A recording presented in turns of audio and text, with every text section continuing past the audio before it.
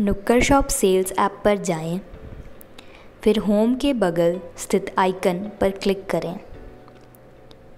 उसके बाद बिलिंग पर जाएँ और फिर क्रेडिट पर क्लिक करें।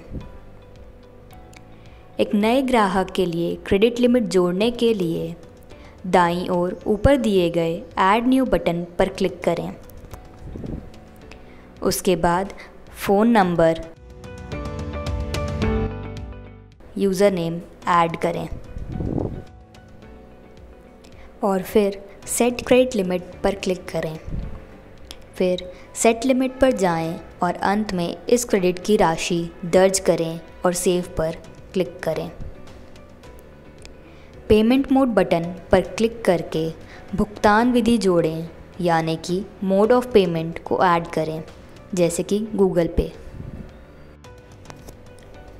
उस अमाउंट को दर्ज करें, जिससे आप सेलेक्टेड भुगतान मोड यानी पेमेंट मोड के माध्यम से पेमेंट करना चाहते हैं।